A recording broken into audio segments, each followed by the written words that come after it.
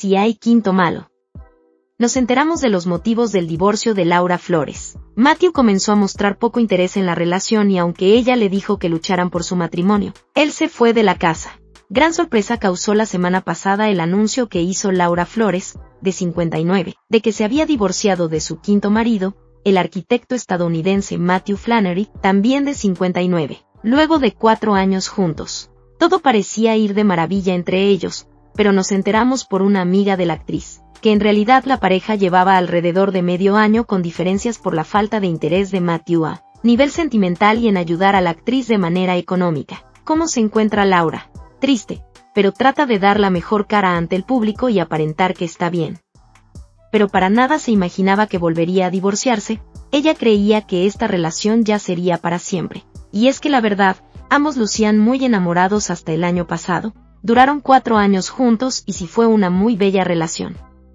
Se conocieron por amigos en común, los dos quedaron flechados desde que se vieron y el amor les pegó con todo. Se casaron por lo civil en octubre de 2019 en la corte de Plantation, en Florida. Hasta se casaron por la iglesia, ¿no? Ella ya lo había hecho por la iglesia con uno de sus maridos, José Ramón Díez. Pero en diciembre de 2020 fueron a una iglesia luterana y ahí un pastor los bendijo. Entonces, ¿qué ocurrió? Durante la pandemia por el COVID, Matthew no tuvo trabajo y Laura tuvo que salir al quite económicamente trabajando duro en todo lo que le ofrecían, hasta bañando perros y eso fue desgastando la relación con el tiempo. Es que tiene una familia grande, sí, pero la verdad es que es una mujer súper esforzada y talentosa. Matthew estuvo mucho tiempo sin trabajo, él es arquitecto y cuando terminó la pandemia, su situación mejoró, pero la verdad es que no era muy generoso económicamente, de vez en cuando ayudaba con algo a Laura, pero la mayor parte del tiempo dejaba que ella se las arreglara sola. ¿Por qué? Si es ya un arquitecto importante. Sinceramente, él es muy codo, Solo la apoyaba en lo básico. Incluso cuando se casó con Laura, en vez de ponerle casa, se fue a vivir a la de ella. ¿Y Laura? ¿Qué decía al respecto? ¿Le afectó esto? Laura es mucha mujer y ella no depende de ningún hombre para salir adelante. Fue más bien una cosa emocional, en el fondo de su corazón, a ella le dolía que él no se pusiera la camiseta con ella, cuando a final de cuentas eran un matrimonio. El año pasado, Matthew estuvo muy delicado de salud. Sí, él tiene una condición llamada enfermedad común variable de inmunodeficiencia, que hace que sus glóbulos blancos no sean suficientes. Su organismo no produce los suficientes anticuerpos para pelear en contra de distintas enfermedades, infecciones o virus, y en noviembre pasado estuvo muy mal. Casi no la cuenta, tenía insuficiencia hepática, insuficiencia pancreática y un problema con el duodeno, y fue Laura quien lo cuidó, pero parece que a él no le importó. Entonces, ¿en qué momento comienzan los problemas entre ellos? Gracias a Dios, Matthew se recuperó, pero comenzó a dejar de mostrar interés en el matrimonio, ese enamoramiento que tanto lo unió con Laura, dejó de existir. ¿Y Laura?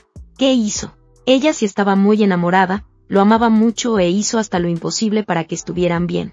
Cuando las cosas se pusieron más frías, Laura le dijo que lucharan por su matrimonio, pero él prefirió irse de la casa, diciendo que el amor se había acabado. ¡Qué fuerte! Sí, no se lo esperaba, tanto que lo apoyó con los gastos, y más cuando él estuvo muy enfermo. Laura cayó en depresión por esto, obviamente lloró mucho con esta situación, pero ella es una mujer fuerte. Su principal motor son sus cuatro hijos y teniéndolos a ellos, no necesita nada más. Son su mayor razón para luchar en la vida y salir adelante. Es muy extraño que Matthew cambiara de esta manera. Sí, incluso a Laura le llegaron a decir que tal vez, él ya tenía otra persona y por eso no le interesó salvar el matrimonio con ella, pero Laura no se quiere contaminar con esas ideas. Entendió que no podía forzar las cosas y por eso decidieron divorciarse hace unos meses. Él, ¿cómo se encuentra? Muy campante de la vida. Hace unas semanas le ofrecieron un gran trabajo arquitectónico de unas torres en Atlanta y ya está como si nada. ¿Fue complicado el divorcio? No. Como ellos firmaron un acuerdo prenupcial y se casaron por bienes separados, todo fue muy rápido. Tenían una, perrija, ¿quién se la quedó? Sí, un pastor ovejero australiano que le llamaron Emma, y se la quedó Laura. A Matthew ni le interesó ya la mascota. Lo importante es que Laura se ve bien. Laura está bien, obviamente desilusionada, pero enfocada en sus hijos, en la gira con grandiosas, y de ella jamás va a salir una palabra mala contra Matthew, aunque él la haya decepcionado con sus acciones.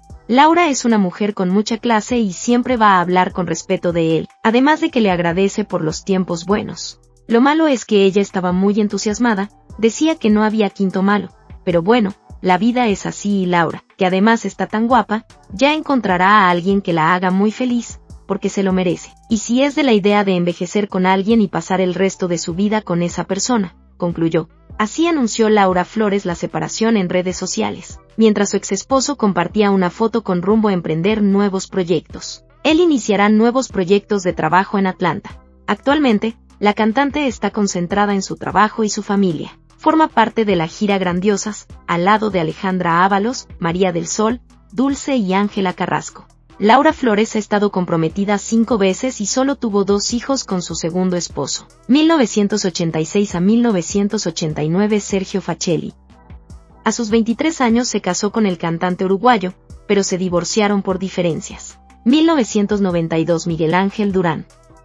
Solo duraron cuatro meses de casados, pues, el cirujano plástico Durán solo se había separado de su anterior esposa, mas no divorciado. 1998 a 2007 Ramón Díez. Contrajeron nupcias y tuvieron dos hijos. Posteriormente, ella adoptó dos niños más. 2013 a 2014 Eduardo Fonseca. Se casaron, pero se separaron a los cinco meses. Ella nos dijo que a él le costó trabajo adaptarse a todos sus hijos. 2019 a 2023 Matthew Flannery.